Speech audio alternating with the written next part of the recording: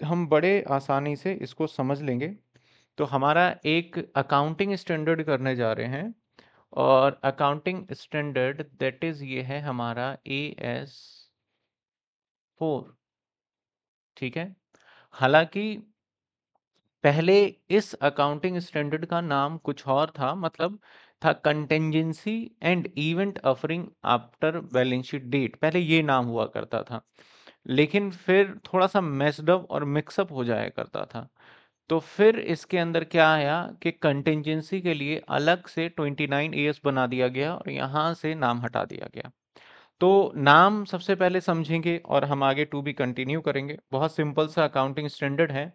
सबसे पहले event event का मतलब क्या होता है सर इवेंट का मतलब होता है काम। सर काम, इवेंट का मतलब क्या है काम? अब काम का मतलब क्या है सर? काम मतलब कोई भी एक्टिविटी, काम से मतलब है activity. Activities. Event occurring occurring का मतलब है कोई भी एक्टिविटी हुआ। कोई भी एक्टिविटी, ये क्या लिख दिया मैंने? कोई भी एक्टिविटी हुआ हो आपका। आफ्टर आफ्टर मतलब बाद में हुआ हो। और बैलेंस शीट के डेट के बाद।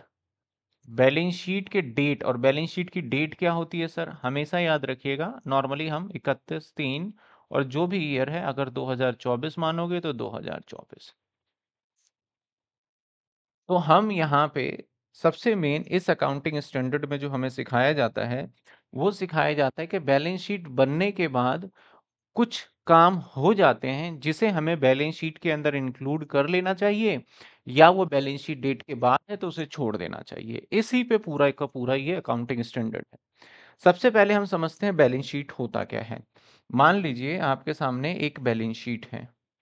आपके सामने एक बैलेंस शीट है, सपोज़ करिए। एक बैलेंस शीट, ठीक है, ये बैलेंस शीट बना लिया। कैसा बैलेंस शीट है? मैं थोड़ा सा आइडिया दे दूँ। ये बैलेंस शीट है।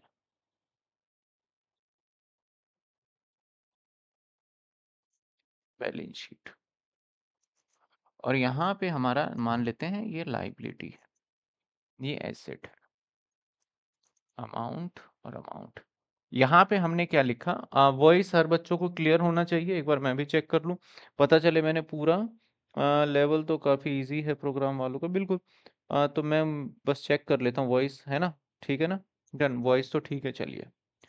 इधर मैंने लिखा, for example share capital, for example reserve and surplus, for example liability, loan लिख दिया मैंने, ये सारी चीज़ें लिख दी। इधर लिख लिया मैंने फिक्स एसेट्स, इधर लिख लिया मैंने डेटर, इधर लिख लिया मैंने इन्वेस्टमेंट। ठीक है, थोड़ा सा पूरा नहीं लिखा जा रहा। अब यहाँ मान लेते हैं पाँच लाख, दो लाख तीन लाख तो टोटल हो गए ये दस लाख। इधर हमने लिख लिया पाँच लाख, तीन लाख और ये दो लाख, और इधर भी हो गया हमारा दस लाख। ये बैलेंस शीट है। इसके बाद बैलेंस शीट में ना फाइनली जो ये बैलेंस शीट होता है, ये बैलेंस शीट यहीं पे नहीं रुकता। ये जो बैलेंस शीट है ना, ये टू भी कंटिन्यू जाता है हमारा आगे। ठीक है ना? और यहाँ पे बैलेंस शीट में ना, एक तो कंपनी, अगर लिस्टेड कंपनी है तो सबसे पहले जो साइन होता है ना, वो that is board of director का। बोर्ड ऑफ़ डायरेक्टर कौन होते हैं कंपनी के? जो कंपनी को चलाते हैं। शायद विजुअल होगा आपको। बोर्ड ऑफ़ डायरेक्टर का यहाँ पे क्या होता है? सिग्नेचर होता है। एस डी लिख रहा हूँ सिग्नेचर चार्टेड अकाउंटेंट यानी ऑडिटर का यहाँ पे सिग्नेचर होता है। कंपनी सेक्रेटरी का यहाँ सिग्नेचर होता है। इन सभी का सिग्नेचर होता है। अब इन सभी का जो सिग्नेचर होता है वो बैलेंस शीट बनने के बाद होता है। चलिए मैं एक बार दिखा भी दूँ किसी की बैलेंस शीट शायद मुझे दिख जाए तो आपको थोड़ा आइडिया हो जाएगा। शीट। Audited balance sheet. ये ऑडिटेड में ज़्यादा से ज़्यादा रहता है। आ, तो इमेज हो कहीं पड़ा हुआ तो दिखा देते हैं। चलिए एक तो मिल गया मुझे। बट ये ब्लर है काफ़ी। चलिए ये देखिए। यहाँ पे बैलेंस शीट है और यहाँ पे ऑडिटर का साइन है। ये सिंपल मेरे ख्याल कंपनी की नहीं बैलेंस शीट है। आ, ये वाली हो सकती है। ये देखिए। प्रोपराइटर की बैलेंस शीट आ रही है भाई। कंपनी की ले लेते हैं। कंपनी में होता है ना डायरेक्टर? कंपनी। चलिए साहब कंपनी की बैलेंस शीट। गई। देखिए, यहाँ पे हमारा चीफ एग्जीक्यूटिव ऑफिसर, यहाँ पे डायरेक्टर, अगर नहीं दिख रहा तो मैं इसको बड़ा करने की कोशिश करता हूँ। हो जा भाई बड़ा। ये देखिए। शायद आपको दिख जाए। भाई क्या हो गया? इसको कर देते हैं डिक्लाइन है ना? ये आजकल ना बहुत सारी चीज़ें बोलते हैं, एक्सेप्ट करो एक्सेप्ट करो, ये करो, वो करो। रिजेक्ट ऑल ठीक है। अगर आपको शायद विजुअल हो तो मैं बता दूँ, ये पूरी की पूरी ऐसे बैलेंस शीट बन जाती है और यहाँ पे ये सिग्नेचर्स हैं। मेरा ये बताना है कि भाई यहाँ सिग्नेचर्स होते हैं डायरेक्टर के। नहीं पता तो एक बार आप भी देख लीजिएगा, मिल जाएगा आपको बैलेंस शीट, ठीक है ना? अब चीज़ों को ध्यान रखिएगा। मैं जो बताने की कोशिश करूँगा ध्यान से सुनिएगा। सपोज़ करो मैं कुछ एक डेटा लेना चाह रहा हूँ यहाँ पे, उस डेटा को समझिएगा, ठीक है ना? सपोज़ करिए कि मेरा बैलेंस शीट जो है, वो 31 मार्च को बना। 31 तीन जो डेट डला हुआ है 2024 का है, ये बैलेंस शीट पे हमारा डेट डला हुआ है, ठीक है? हुआ यूँ और जो, क्योंकि हम ऐसा बिल्कुल भी नहीं कर सकते 31 मार्च का डेट है और 31 को बैलेंस शीट बन जाए। अब सपोज़ करो फ्लिपकार्ट कंपनी है, फ्लिपकार्ट कंपनी मान लो 31 मार्च तक तो रात के 12 बजे भी सेल कर रहा होगा तो एकदम एक मिनट में थोड़ी ना बैलेंस शीट बन जाएगी। गवर्नमेंट कहता है इस बैलेंस शीट को जब आप बनाएँगे तो आपको इसके लिए हम छह महीने का टाइम देंगे, तीस सितंबर तक का। यानी आपको समय दिया जाएगा कि इस दिन तक आप बैलेंस शीट तैयार कर लीजिए। कब? तीस सितंबर तीस सितंबर तीस सितंबर 2024 सर 30 सितंबर 2024 और जो हमारा बैलेंस शीट ये मैं बता रहा हूँ कब का है, ये सर बैलेंस शीट रहा होगा हमारा एक चार से। एक चार से होगा ना, एक चार 2022 से। ये जो बैलेंस शीट होगा हमारा, वो कब से कब तक का होगा सर? ये बैलेंस शीट होगा हमारा, थोड़ा इधर जगह बना लेते हैं। जो ये बैलेंस शीट होगा, वो होगा हमारा, कब से कब तक का साहब? ये बैलेंस शीट होगा। एक चार दो हज़ार तेईस। तेईस। एक चार दो हज़ार तेईस।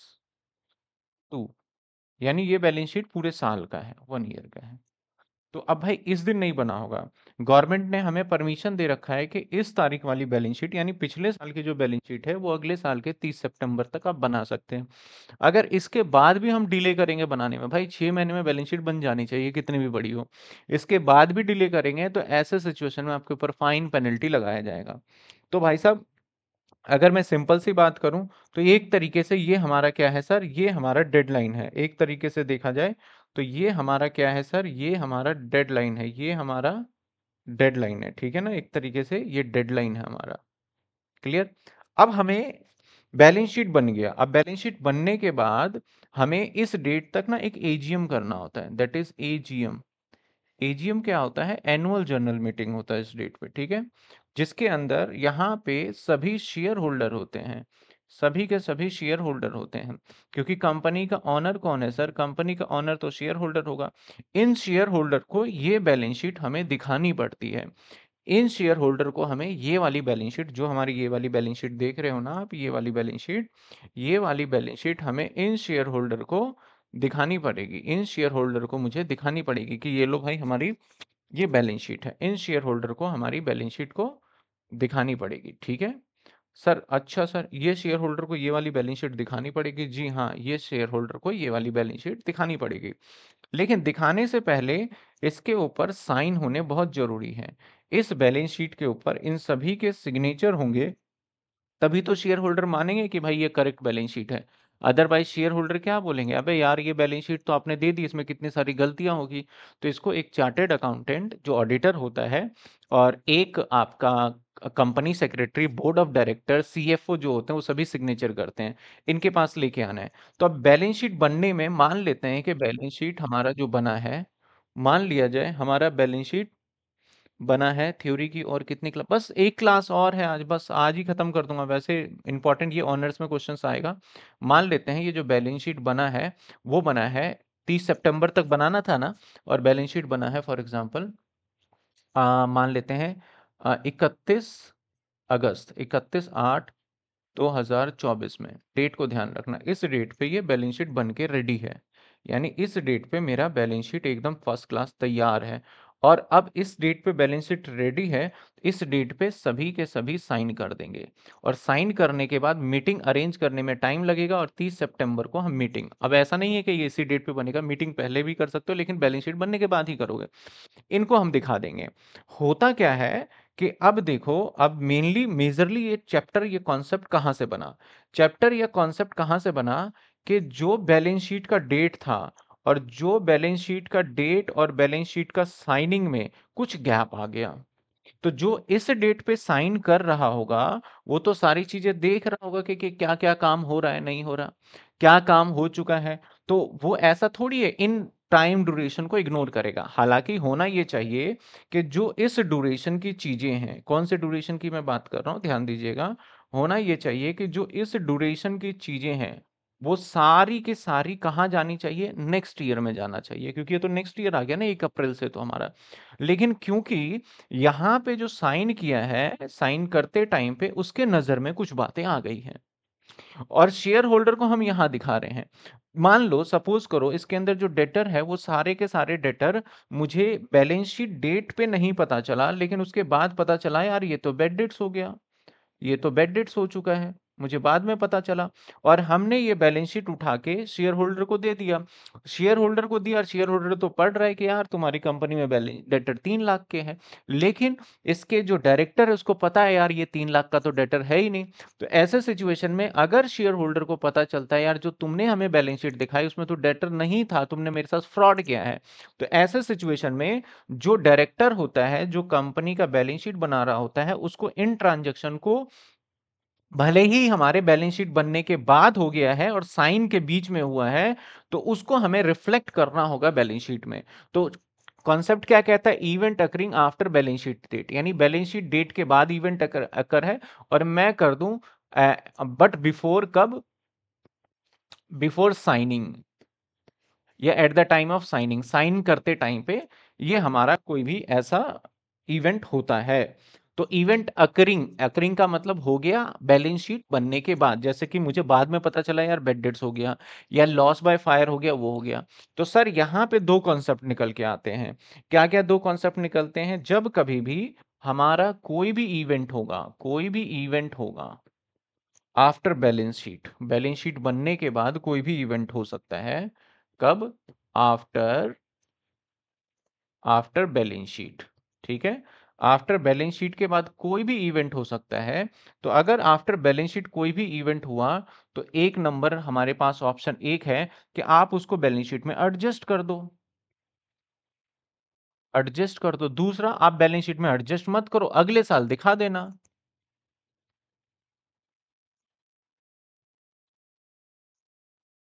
नॉट एडजस्टमेंट तो एक होता है हमारा एडजस्टेड इवेंट बोल दो इसे। और एक होता है हमारा नॉन एडजस्टेड इवेंट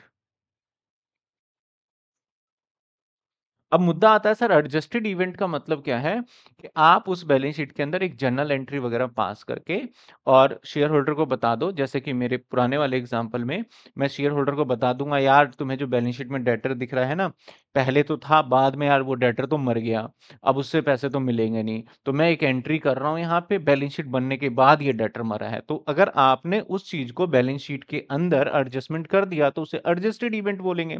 अगर उन चीज़ों को आपने बैलेंस शीट के अंदर एडजस्टमेंट नहीं किया तो उसे नॉन एडजस्टिंग इवेंट बोलेंगे, जैसे मान लेते हैं लॉस बाय फायर, इस डेट पे मान लिया जाए, इस डेट पे बिज़नेस में क्या होता है, इस डेट पे बिज़नेस के अंदर आग लग जाती है, इस डेट पे, इस डेट पे बिज़नेस के अंदर आग लग गई। तो अब बोलेंगे, भाई, ये तो बैलेंस शीट बनने के बाद लगी है, हमें उस दिन थोड़ी ना पता था कि आग लगेगी तो इसे हम अगले साल की बैलेंस शीट में नुकसान को दिखा लेंगे। तो एडजस्टेड इवेंट और नॉन एडजस्टेड इवेंट तो सबसे पहले एडजस्टेड इवेंट वो होता है जो कि बैलेंस शीट के अंदर वो अमाउंट जो है ना अमाउंट जो है पहले से एग्जिस्ट कर रहा हो एग्जिस्ट कर रहा हो।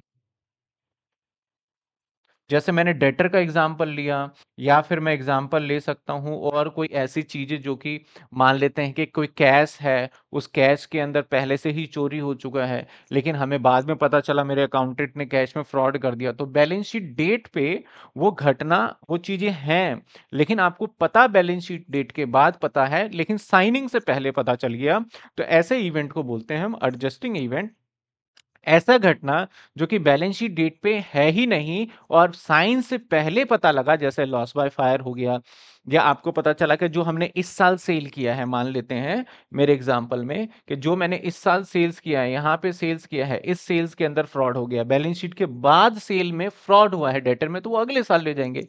तो दो इवेंट हो गए हमारे एडजस्टेड इवेंट। एडजस्टेड इवेंट की हम क्या करते हैं, नॉर्मली एक एंट्री कर देंगे, कोई भी जर्नल एंट्री करके, और इसको रेक्टिफाई कर देंगे। नॉन एडजस्टमेंट इवेंट वो इवेंट होते हैं जिसको हम रेक्टिफाई नहीं करते हैं। जैसे for example non adjusted event में आ जाता है, सबसे पॉपुलर होता है डिविडेंड नंबर दो हो गया लॉस बाय फायर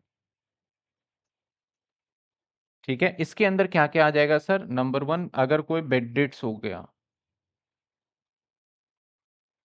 नंबर दो, आपका क्या हो सकता है सर? एडजस्टेड इवेंट में, जैसे कि गोइंग कंसर्न पे इम्पैक्ट आ गया, या फिर ऐसा कोई कॉन्टिजेंट लाइबिलिटी है, किसी ने केस कर रखा है कॉन्टिजेंट लाइबिलिटी केस करा हुआ है और वो हमें पता चल जाए। तो sir, event occurring balance sheet date का मतलब है कि बैलेंस शीट बनने के बाद साइन होते होते समय लग गया, उसके बीच में कोई घटना घट गई तो वो दो तरीके की घटनाएँ हो सकती है। या तो वो एडजस्ट हो सकता है उसी बैलेंस शीट में पुरानी वाली में, या तो फिर नहीं होगा तो नहीं होगा तो कब होगा, नई वाली बैलेंस शीट में अगले साल वो पोस्टपोन हो जाएगा। तो हमारे एक हो गया एडजस्टेड इवेंट और एक हो गया नॉन एडजस्ट, एडजस्टेड इवेंट। लेकिन कुछ एक्सेप्शन है। कुछ एक एक्सेप्शन है, ये ध्यान रखिएगा। सर एक्सेप्शन क्या है?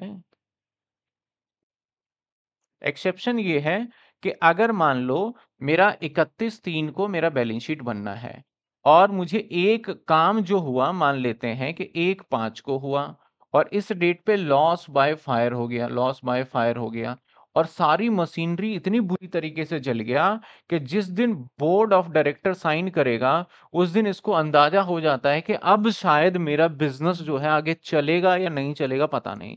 मेरा बिज़नेस आगे चलेगा या फिर नहीं चलेगा कंफर्म नहीं कह सकते भाई, ऐसी दिक्कत है। तो ऐसे सिचुएशन में हम कहेंगे कि भैया भले ही इस डेट पे ये अमाउंट एग्जिस्ट नहीं करता हो, लेकिन इसके बाद हुआ हो, लेकिन हमारा going concern going concern impact हो रहा है। तो इसको हम एक एडजस्टेड इवेंट मान के और बैलेंस शीट के अंदर नोट में हम शो करेंगे। देखो, जो एडजस्टमेंट का मतलब ये नहीं है कि बैलेंस शीट के अमाउंट के करो, उसके फुट नोट में डिस्क्लोज भी कर सकते हो, करके करेंगे। नॉन एडजस्टेड इवेंट को बस जस्ट बताना है। तो ये सिंपल सा हमारा था अकाउंटिंग स्टैंडर्ड फोर। चलिए हम इसको पढ़ लेते हैं क्विकली फटाफट से कि क्या क्या गिवन है, ठीक है ना? टेन ईयर के में से ही पढ़ लेते हैं तो क्या क्या गिवन है, फटाफट से देख लेते हैं। चलिए आ जाइए सर, ये रहा हमारा अकाउंटिंग स्टैंडर्ड फोर। चलिए सर। सबसे पहला क्वेश्चन आता है हमारा, पढ़ते जाएँगे, जो मैंने समझाया वही चीज़ें लिखी हुई है। रेड ले लेते हैं, ज़्यादा दिखता है, ठीक है? कहता what do you mean by the event occurring after balance sheet date क्या होता है, ये बताइए। तो क्या कहता है as per A S four event occurring after the balance sheet date are those significant event यानी वो काम है, बोध। आपका, जो कि फेवरेबल भी हो सकता है अनफेवरेबल यानी काम ज़रूरी नहीं है कि नेगेटिव हो तभी दिखाओगे पॉजिटिव हुआ तब भी। That occur between balance sheet date and date which financial statement approved यानी sign by board of director in case of company by आपका corresponding approving authority in case any other company के case में वो और individual के case में proprietor तो उसके बीच में दौरान में जो भी इवेंट होता है, उसको क्या बोला जाता है सर? उस इवेंट को बोला जाता है हमारा, उसको बोला जाता है कि event occurring after balance sheet date यहाँ पे दो टाइप के इवेंट हो सकते हैं। Those event which provide further evidence condition exist on the balance sheet date यानी उस डेट पे था। तो वे कौन सा होगा सर? एडजस्टेड इवेंट होगा। जो कहता है वो इवेंट कंडीशन दो सब्सिक्वेंट बैलेंस शीट डेट यानी बैलेंस शीट डेट के बाद हुआ है, जैसे कि मैंने बताया। Event occurring after the balance sheet date कौन कौन सा हो सकता है? ये चीज़ें पढ़ लोगे ना तो यही खत्म हो जाता है। कौन कौन से ऐसे हैं जो कि बैलेंस शीट डेट के बाद हो सकता है इवेंट अकरिंग पहला बोलता है event occur between balance sheet date जो balance sheet date and date which financial statement approve उसके बीच में क्या हो सकता है? May be indicate need to be the adjustment हो सकता है। जैसे assets and liability balance sheet date may be required to disclose एक ये हो सकता है। एक adjustment of assets and liability का करना पड़ सकता है। Required event occurring after balance sheet date करना पड़ सकता है। एडिशनल इंफॉर्मेशन भी देना पड़ सकता है हमें। Determination of the amount relating condition exist on the balance sheet date हो सकता है। फॉर एग्ज़ाम्पल देखिए, एक एडजस्टमेंट में भी मेड करना पड़ेगा for loss of trade receivable यानी debtor account which confirm by the insolvency हो गया कस्टमर का। Which occur after the balance sheet date इसको क्या करना पड़ेगा सर? एडजस्टमेंट करना पड़ेगा। Same adjustment to the assets and liability are not appropriate मतलब एडजस्टमेंट करने की कोई आवश्यकता नहीं है। Event occurring after the balance sheet date क्या हो सकता है? For such event do not relate to the condition exist जैसे example decline market value of investment तो ध्यान रखिए, अगर डेटर पता चला तो वो एडजस्टेड इवेंट है मार्केट वैल्यू कम हो गया। आपने शेयर्स खरीद रखे थे या कोई प्रॉपर्टी ले रखा था कंपनी का, जिस दिन बैलेंस शीट बना उस दिन तो पाँच लाख का था, लेकिन बैलेंस शीट बनने के बाद पता चला कि यार उसकी वैल्यू थोड़ी सी एक लाख रुपए कम हो गई। तो उसे एडजस्ट नहीं करना, उसे अगले साल दिखा देंगे हम। ठीक है ना? आगे कहता है बिटवीन बैलेंस शीट डेट तो एक तो दो हो गया। इसके बाद कहता है, अगला कौन सा पॉइंट ले लिया इन्होंने? कि event occurring after balance sheet date do not affect the figure stated financial statement would not be normally required to disclose जिसको डिस्क्लोज ही नहीं करना financial statement although they may be such significant they may be required to disclose in the report of approving authority enable the user मतलब कहीं पे आप बता दीजिए, बस इतना नेसेसरी नहीं है। There are event which although take a place after balance sheet date are to the sometime reflect the financial statement में हो जाता है स्टेचुरी रिक्वायरमेंट की वजह से हमें उसमें दिखाना ही पड़ेगा, जैसे such item include amount of dividend पर परपोज डिविडेंड तो डिविडेंड में हमेशा याद रखिए कि ये नॉन एडजस्टिंग है, लेकिन फिर भी हमें बैलेंस शीट की कंटेंजेंट लाइबिलिटी में दिखाना पड़ता है कि ये हमारा तो देना पड़ सकता है कंफर्म ही होता है लगभग लगभग तो इसको हमें दिखाना ज़रूरी होता है, ठीक है ना? तो अभी तक में अगर आप इसे पढ़ेंगे ना तो मैं सिंपली कहूँगा, इसका बस डेफिनेशन देखिए, ये तो थोड़ी सी इधर उधर की बातें कर रहे हैं।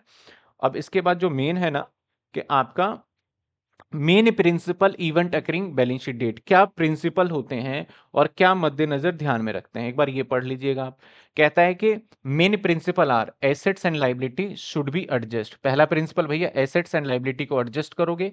Event occurring after the balance sheet date, provide additional evidence. अगर कोई एविडेंस मिलता है assist on the estimation amount होता है relating to condition exist on the balance sheet date अगर बैलेंस शीट डेट पे ऐसा कोई कंडीशन है जैसे कि that indicate the fundamental accounting assumption going concern impact होगा तो उसको हमें दिखाना पड़ेगा एडजस्ट करना पड़ेगा और उसे हमें नोट्स अकाउंट्स या फिर हमें डिस्क्लोज uh, करना पड़ेगा। तो कहता है the continuous of the existence of substance of the enterprises is not appropriate अब नहीं चल सकता आगे तो इसे दिखाना पड़ेगा। दूसरा क्या हो सकता है? हम क्या पढ़ रहे हैं सर? क्या प्रिंसिपल है, कब दिखाओगे? तो ये वाली बात दिखाओगे। Dividend stated the requirement of period अब डिविडेंट का ऐसा होता है कि डिविडेंड हमारा अप्रूव्ड होता है जाके कहाँ पे? अप्रूव्ड होता है हमारा। देखो डिविडेंड के केस में समझना, जब बैल एजीएम में जाएँगे तो यहाँ पे ये शेयर होल्डर डिविडेंड अप्रूव करेंगे कि भैया डिविडेंड देना ही नहीं देना और बैलेंस शीट पहले साइन हो रहा है। तो ऐसे सिचुएशन में डिविडेंड देना भी पड़ सकता है, नहीं भी देना पड़ सकता है और डिविडेंड जो रिलेटेड होगा वो इस साल से रिलेटेड होगा। तो ऐसे सिचुएशन में हम क्या करते हैं? डिविडेंड को बैलेंस शीट के अंदर ना दिखा के हम दिखाते हैं उसे कंटिजेंट लाइबिलिटी और नेक्स्ट ईयर में जाके हम बैलेंस शीट के पेमेंट कर देते हो। तो हमेशा ऐसे रहता है कि इस साल में कंटिजेंट लाइबिलिटी अगले साल में एक्चुअल पेमेंट हो जाता है, जो कि आपने ट्वेल्थ में कैश फ्लो में भी एक कहीं ना कहीं देखा है, ठीक है? चलिए, आ जाते हैं। अब सबसे मेन टॉपिक ये है, तीसरा क्वेश्चन बहुत बहुत इंपॉर्टेंट टॉपिक है, मैं लिख देता हूँ इसके ऊपर। सर ये वेरी वेरी इंपॉर्टेंट टॉपिक है। क्यों है? कहता है कि एक तो एडजस्टेड इवेंट बताइए। मैंने बताया ना अभी आपको, एक नॉन एडजस्टमेंट जो बैलेंस शीट में डिस्क्लोज हो जाए या फिर एडजस्टमेंट कर दो, वो होगा एडजस्टेड इवेंट जो नहीं डिस्क्लोज होगा नॉन एडजस्टेड इवेंट कौन से होते हैं? जो बैलेंस शीट डेट पे, वो चीज़ें था हमारे बैलेंस शीट के अंदर, दिक्कतें थी और बाद में पता चला, वो एडजस्टमेंट करना है। जो बैलेंस शीट बनने के बाद दिक्कतें कुछ हुई है और पहले था भी नहीं तो वो नॉन एडजस्टेड इवेंट है। कहता है adjusted event adjusted event are event that provide additional evidence कुछ अलग से मिला related to condition exist on the balance sheet date ध्यान रखिएगा बैलेंस शीट डेट पे वो कंडीशन एग्जिस्ट कर रही थी.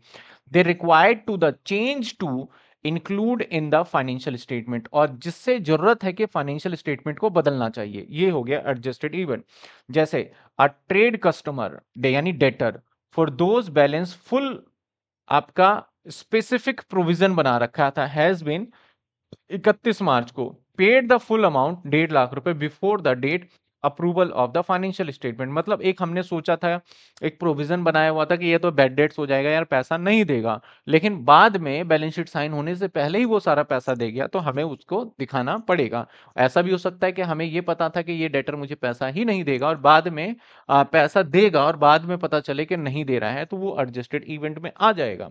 ठीक है? यानी मैं दोबारा बता दूँ क्या बता रहा हूँ मैं?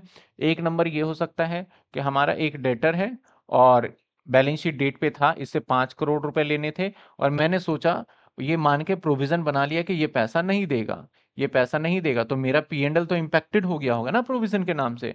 लेकिन इसने पैसा दे दिया तो साइन करते टाइम पे बोर्ड ऑफ़ डायरेक्टर बोलेगा, अब यार ये पाँच करोड़ पैसा आ ही गया है तो पी एंडल में डेबिट क्यों कर रहे हो आप? इसको खर्चा क्यों दिखा रहे हो? इसे हटाओ और इसको एडजस्टमेंट कर दो। ठीक है? दूसरा, आपका पाँच करोड़ का डेटर है और बाद में पता चला, यार डेटर तो मर गया, अब उससे पैसे तो मिलेंगे नहीं। तो उसको हमें एडजस्टमेंट करना पड़ेगा। It is the adjusting event provision for doubtful debts is to be reduce by कैसे करेंगे? प्रोविज़न फॉर डाउटफुल डेट्स को डेबिट कर देंगे स्टेटमेंट प्रॉफिट एंड लॉस को क्रेडिट कर देंगे, ठीक है ना? आगे आ जाते हैं सर। आगे क्या कहता है सर? आगे कहता है हमारा कि द अदर एग्ज़ाम्पल आर, कुछ एग्ज़ाम्पल, जैसे कोई डेटर इंसॉल्वेंसी हो जाए इंक्लूड बेड डेट्स इसे याद रखिएगा। The valuation of fix assets indicate the permanent आपका कुछ ऐसा परमानेंट हो रहा है वैल्यू ऑफ़ बैलेंस शीट पे इम्पैक्ट करता है, उसे याद रखना है। इवेंट फॉर एग्ज़ाम्पल आपका आपका डिस्ट्रैक्शन ऑफ़ द मेजर आपका प्रोडक्शन प्लांट फायर हो गया एंड उसका गोइंग कंसर्न जो है इंपेक्टेड हो गया तो उसे दिखाना है। तो ये एडजस्टेड इवेंट हो गए। कौन से? एक सर हमारा डेटर के बारे में देख लेना। है एक आप फिक्स एसेट्स और एक लॉस बाय फायर अगर होता है तो ठीक है। लेकिन गोइंग कंसर्न पे इंपैक्ट आएगा तो उसको दिखाना। ये हो गए हमारे कौन से सर एडजस्टेड इवेंट के एग्ज़ाम्पल चल रहे हैं अभी।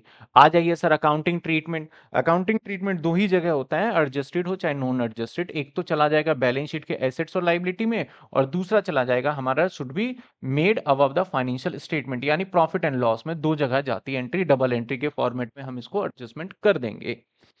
सर नॉन एडजस्टिंग इवेंट कौन सा होता है? Non adjusting event sir non adjusting event कहता है non adjusting event concern condition that did not exist at the balance sheet date कहने का मतलब है नॉन एडजस्टिंग इवेंट वो है जो बैलेंस शीट डेट पे ऐसा कोई एग्जिस्ट ही नहीं कर रहा था.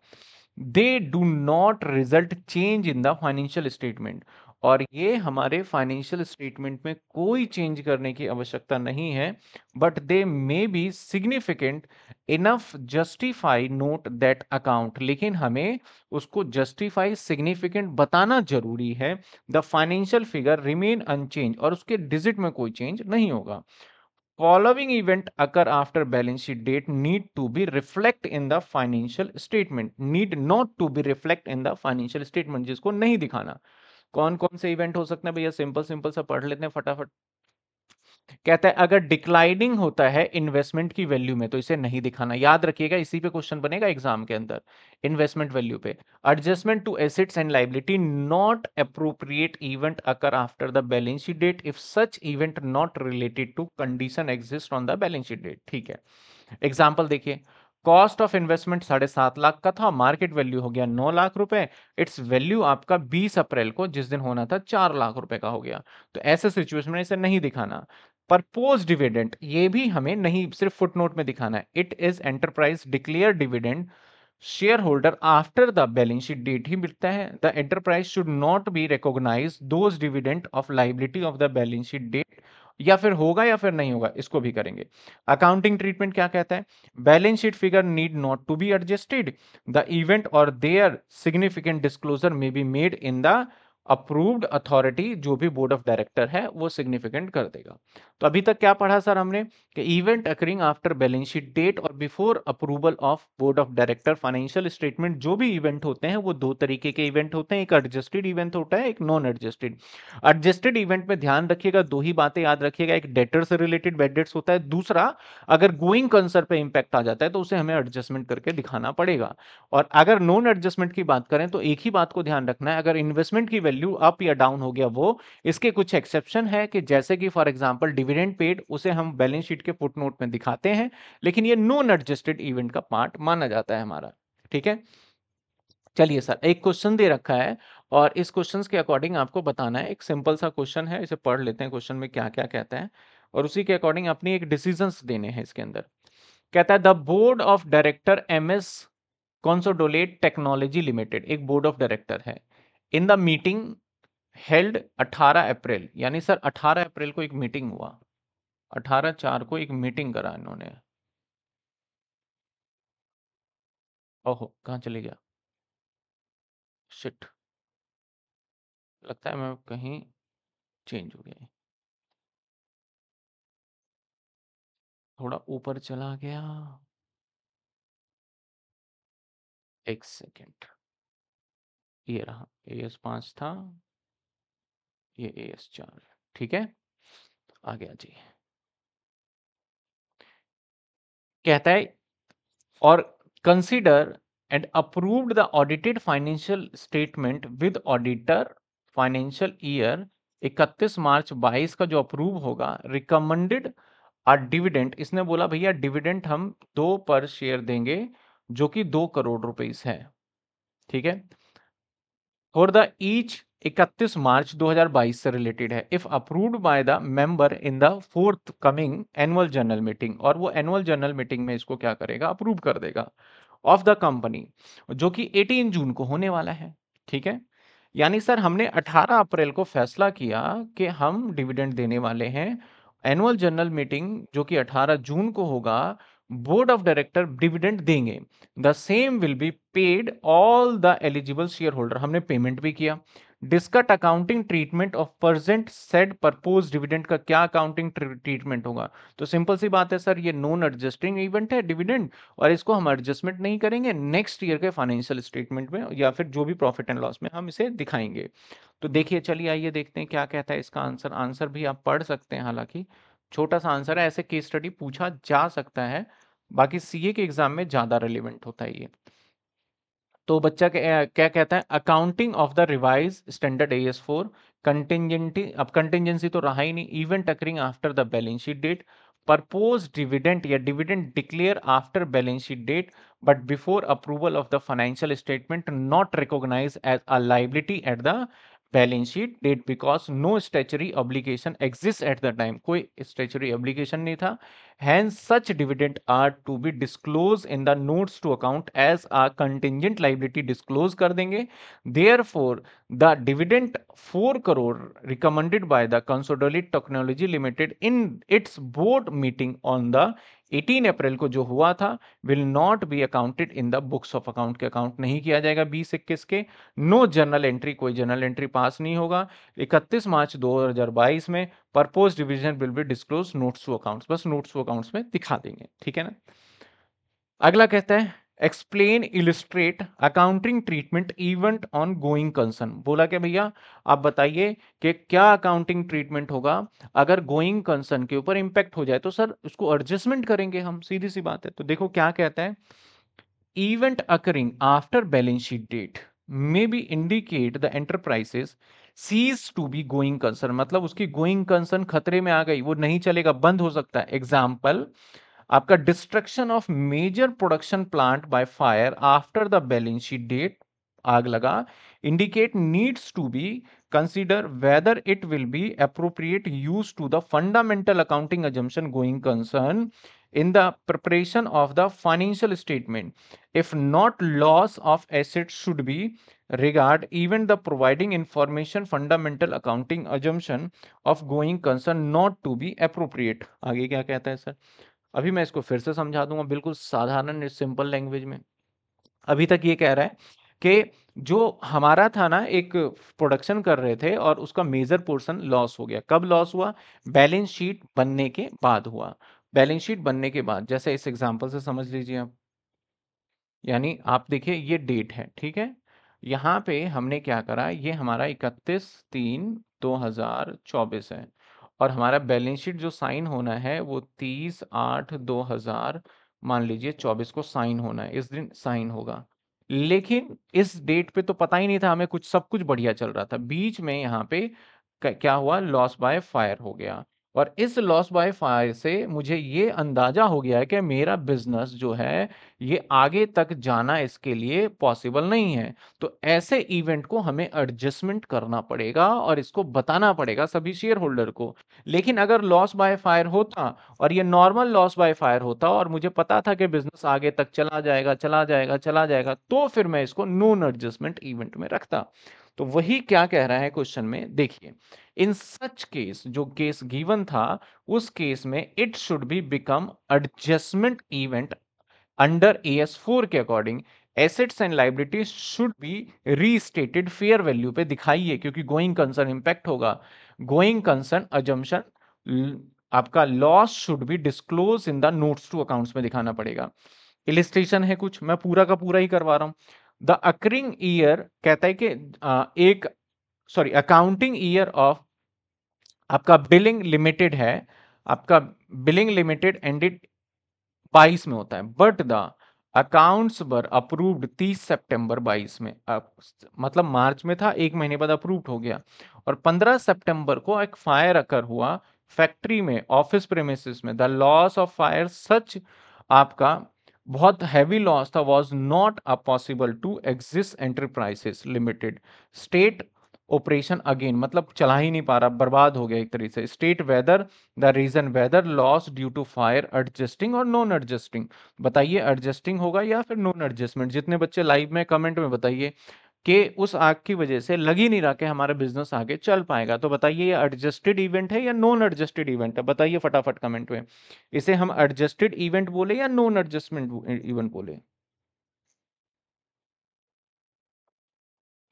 सेकेंड सेमेस्टर को तो आएगा, जी आर मोंगा लेंगे हम, या बी के गोयल लेंगे दो ही बुक चलता है मेनली बताइए।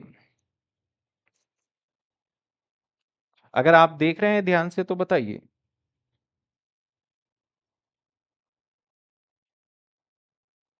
मनीषा का आ गया सर एडजस्टमेंट होगा बिल्कुल ठीक है ये एडजस्टमेंट है देखो आंसर भी ये कह रहा है loss due to fire occur after the balance sheet date before the approval of the financial statement year 21 बाईस the loss due to fire such a आपका बहुत ज़्यादा मैग्नीट्यूड है that the not a reasonable accept the company will start operation continue thus going concern assumption not a valid applicable such case of the should be prepare financial statement liquidation basis तो इसके अंदर impact करना पड़ेगा।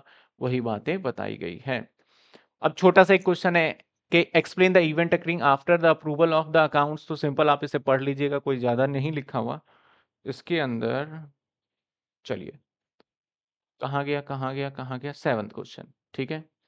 अब इसमें कुछ cases वगैरह आ गए हैं तो जो कि बस आपने पढ़ना है, बाकी जो था ना, ये इसके मेन कर्क्स वो बता दिए कहता है, Surya limited follow the financial year April to March ठीक है? Has provide the following information आपको कुछ इंफॉर्मेशन गिवन है। कहता है keep in the view of provision A S four के अकॉर्डिंग बताइए required the state where the reason अब ट्रीटेड एज अ आपका contingency adjusted event non adjusted event आपको बताना है इसके अंदर। तो एक तरीके से आपका आ, कुछ पॉइंट दे दिया इसमें बताना है तीनों में से क्या है। कहता है कि हमारे अगेंस्ट कंपनी के अगेंस्ट केस हो गया। और advertisement was filed by the party पाँच अप्रैल को। 2022 को क्लेमिंग डैमेज पाँच लाख रुपए। तो बताइए एडजस्टिंग होगा या नॉन एडजस्टमेंट तो देखिए अगर हमारे अगेंस्ट केस होता है पाँच इवेंट के बाद होता है तो केस तो पहली वाली बातों पे होगा एग्जिस्ट कर रहा होगा तो ये एडजस्टिंग इवेंट माना जाएगा। See you against the company advertisement was the filed by the party fifth April claiming the damage of पाँच lakh rupees is contingent liability but it uh, हमने कंटेंजेंट लाइबिलिटी में से माना होगा but it not be exist on the balance sheet date because of file fifth April okay okay ठीक है ठीक है ठीक है ठीक है ठीक है। हाँ एक बार दोबारा पढ़ लेते हैं, कहता है अगेंस्ट कंपनी एट ठीक है हाँ। ये इसे कंटेंजेंट लाइबिलिटी में रखेंगे और इसको एडजस्टमेंट नहीं करेंगे। अगर कोई भी कंटेंजेंट लाइबिलिटी है तो एडजस्टमेंट का मतलब बैलेंस शीट के डेटा में छिड़खानी नहीं करेंगे। ठीक है? बी पार्ट क्या कहता है सर बी पार्ट देख लीजिए आप। इसे पढ़िएगा ज़रूर, इसमें से क्वेश्चन पूछे जाएँगे। कंपनी कहता है स्पेंड करता है proposal sales of immovable property 45 lakh मार्च में। The book value of property 30 lakh. Year end however the registered 15 अप्रैल को। कहता है कि भैया, कंपनी ने एक सेंड किया प्रपोजल कि भैया, मार्च में करा के 45 लाख का बेच देंगे। The book value of property 30 lakh on the year end date पे। ठीक है 30 लाख का। However the deed was registered 15 April 15 अप्रैल को ये डील हो गया। तो भैया, हमारा प्रॉपर्टी का वैल्यू बढ़ गया है इस केस के अंदर। तो दूसरा क्या कहता है? Proposal sale to movable property sent in the March 2022 however it was no contract sales कोई भी कॉन्ट्रैक्ट सेल्स नहीं हुआ। देयरफॉर नॉन एडजस्टिंग इवेंट माना जाएगा। अगर सेल पहले हो जाता तो फिर देखते हैं। तीसरा point the terms condition acquisition of the business other company have been decided by the March 22 में। मतलब पहले से डिसाइड हो गया कि भैया इस कंपनी को खरीदेंगे या फिर ये कंपनी को लिक्विडेट करेंगे। But the financial resource agreement अप्रैल में हुआ। बात वही हो गया, फिर आगे अप्रैल में हुआ तो तीसरा कहता है in case terms condition acquisition of the business finalised in the month of the March before the date of balance sheet however the financial resource accounting 50 lakh were arrange in the April अप्रैल में हुआ। After the balance sheet date so adjustment of the assets and liability necessary on इकतीस मार्च तो इसे एक adjusted event कहेंगे। तो इसी के तरीके से ये कुछ एमसीक्यू है, पढ़ लेंगे। एक और भी क्वेश्चंस आ गए आपके सामने, इस क्वेश्चंस को पढ़ेंगे। कुछ एक क्वेश्चन है। ये सारे क्वेश्चंस के आंसर गिवन है तो मैं आपका ज़्यादा टाइम नहीं लेना चाहता। आप फटाफट से इसको अपने अकॉर्डिंगली पढ़ के लिख सकते हैं। जो चीज़ें बताना था थ्योरी में बता देते हैं। एक क्वेश्चन चलो और। एक कंपनी है एंटर एक एग्रीमेंट करता है। सेल इमूवेबल प्रॉपर्टी अब तो बता ही देंगे। पिछहत्तर लाख रुपए का। The property was show in the balance sheet सत्रह लाख रुपए का शो हो रहा है। द एग्रीमेंट सेल आपका 25 फरवरी को हो गया था concern and the deed registered 30 April को हुआ अगले साल। मतलब एग्रीमेंट हो चुका था, लेकिन डीड अगले साल बना। था फाइनेंशियल स्टेटमेंट में एडजस्ट करेंगे नहीं करेंगे, आप बताइए। तो क्या कहता है? एग्रीमेंट टू सेल हो चुका है was made before the balance sheet date तो करना पड़ेगा भैया। Sales after the balance sheet date approve so additional information related to the condition exist on the balance sheet date so adjustment to the assets and liability immovable property necessary A S four के according ठीक है ना? तो इस तरीके से हमारा पूरा का पूरा ए एस फोर खत्म हो जाता है। यहाँ पे एक ये भी बहुत आता है एम्बेजल्ड कैश एम्बेजल्ड हो रहा है। एक अकाउंटेंट ने हमारा कैश चोरी कर लिया था, लेकिन बाद में पता चला तो ये भी एडजस्टेड इवेंट माना जाता है। यहाँ पे एक एग्ज़ाम्पल और इनमें से कोई एग्ज़ाम्पल मुझे ऑनर्स वाले बच्चों में तो लग रहा है कि पूछा जाएगा। Right note event occurring after balance sheet reporting period as Ind A S ten तो देखो ए एस फोर और A S ten Ind A S ten दोनों एक ही है, बस कुछ कुछ चीज़ें बदल जाती हैं। जैसे as per the Ind A S ten event occurring reporting period that event favourable और unfavourable that occur balance sheet end of the reporting period date वही बातें कह रहा है, इसमें भी एडजस्टिंग बस नाम बदल दिया गया है। तो यह याद रखना ए एस फोर आ जाए या ए एस टेन नहीं इंड ए एस टेन हो जाए तो इसका मतलब ए एस फोर की ही बातचीत चल रही है यहाँ पे। तो ये पूरा क्वेश्चन था। चलिए लास्ट ईयर के पेपर को भी देख लेते हैं। कि वैसे तो देख लिया ऑल दो हमने, फिर भी हम देखते हैं कि पेपर में क्या आया था इससे रिलेटेड कुछ आया था क्या? वैसे तो कल देख लिया था, फिर भी मैं एक क्वेश्चन देखना चाहूँगा इसके अंदर। आया तो था, जो मुझे याद है जहाँ तक। हम्म हम्म हम्म हम्म money measurement prior period item ये तो ये हो गया। ये आ गया था। कहता है event occurring after balance sheet reporting period as पर इंडियस टेन तो ये किसकी बात कर रहा है, सर? ये बात कर रहा है ए एस फोर की बात कर रहा है। ए एस और इंडियस दोनों फ़र्क है। पुराने टाइम पे ए एस था, उसको थोड़ा सा मॉडिफिकेशन करके इंडियस बना दिया गया है, ठीक है ना? तो इसको आप पढ़िएगा। मेरा काम देखिए था, थोड़ा सा आपको आइडिया दे देना और आइडिया देने के बाद आपको सारी चीज़ें समझ में आ जाएगी। और आप इजीली पढ़ पाओगे इसको। एक क्वेश्चन ये आ गया था छोटा सा वैसे आपको ऑप्शन में काफ़ी सारे बच्चे थ्योरी के लेके बहुत ज़्यादा टेंस हो रहे हैं तो मैं कहूँगा कि भैया इतना टेंशन मत लीजिए थ्योरी को लेकर के ठीक है? यहाँ पे आया था डिस्कट फंडामेंटल ए एस वन आया था फंडामेंटल अजम्पन्स आ गए थे। राइट right, यहाँ पे आ गया था। Right a not extraordinary item और contingent liability and contingent assets आ गया जनरल एक्सेप्टेड गैप आ गया था। प्रिंसिपल ए एस फाइव और ए एस एट में डिफरेंस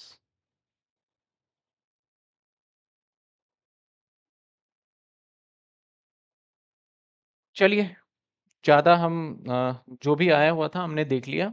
तो ये था हमारा अकाउंटिंग स्टैंडर्ड फोर जो कि हमने पढ़ लिया। ऐसे ही मैं अब जो है सारे रिकॉर्डेड ही लेक्चर डाल दूँगा। आज शाम तक आप चेक करते रहिएगा एप्लीकेशन में रिकॉर्डेड लेक्चर मिल जाएगा। ए एस फाइव भी डाल दूँगा, फिर ए एस नाइन भी डाल दूँगा ए एस आपका वन भी डाल दूँगा ए एस ट्वेंटी सिक्स भी डाल दूँगा, सारे मैं धीरे धीरे करके रिकॉर्ड करके क्विकली आपका डाल दूँगा। पढ़ने का तरीका आप टेन ईयर के नोट्स में से आप पढ़ सकते हैं। टेन ईयर कहाँ मिलेगा? शिवदास का टेन ईयर ले लीजिए नियर बाई किसी भी शॉप पे जाके मिल जाएगा आपको इजीली और उसमें से आप बड़े अच्छे से थ्योरी पढ़ के जा सकते हैं। थ्योरी आपका एक ही आएगा, पंद्रह नंबर का, अठारह नंबर का दैट इज़ बाकी सारे के सारे प्रैक्टिकल होंगे और प्रैक्टिकल के ऑप्शन में आपको थ्योरी देखने को मिल सकता है। ठीक है, किसी बच्चे का कोई डाउट